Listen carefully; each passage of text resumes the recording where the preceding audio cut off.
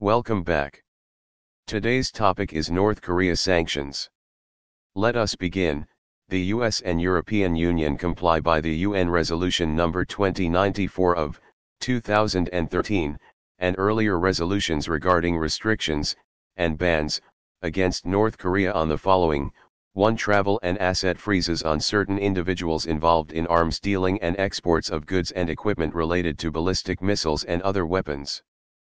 2. Asset freezes of certain organizations involved in supporting activities towards arms and weapon dealings, as well as illegal trading activities. 3 items, materials, equipment, goods, and technology which are nuclear items, missile items, and chemical weapons. 4 luxury goods such as jewelry, pearls, gems, precious, and semi-precious stones and precious metal, as well as transportation items like yachts, racing cars, and luxury automobiles. The first European Union sanction was imposed in 2006 in reaction to North Korea's first test of a nuclear device. Currently, the European Union has autonomously banned provision of new Democratic People's Republic of Korea Bank or North Korea notes and coins, any financial support which could be used for nuclear-related or weapons of mass destruction program, and any new commitment towards North Korea in the form of concessional loans and financial assistance there is a restriction on the issue and trade in certain bonds, use of European Union airports, and establishment of subsidiaries or branches of North Korea banks.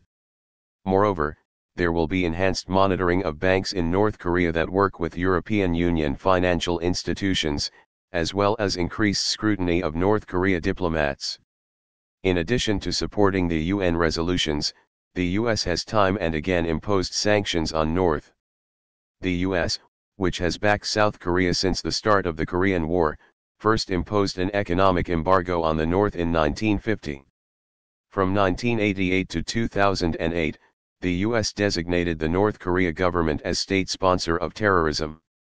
Though there are many sanctions in place against North Korea, the U.S. has not levied any travel ban for U.S. citizens, nor is there a ban on trade of basic goods, the trade volume is negligible though.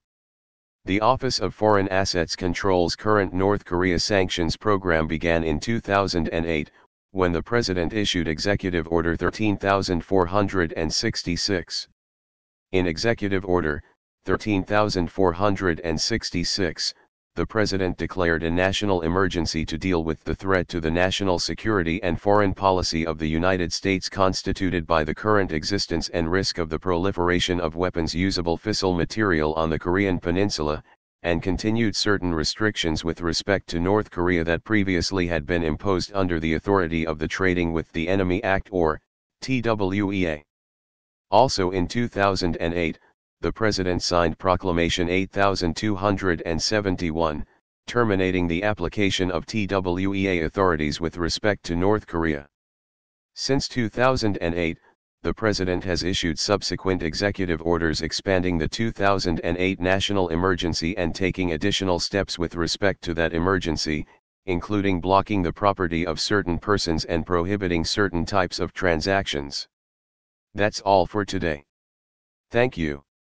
Hope you all now have a fair idea about the North Korea sanctions. And you may now apply this knowledge to your day-to-day -day work. Have a nice day ahead. Stay tuned.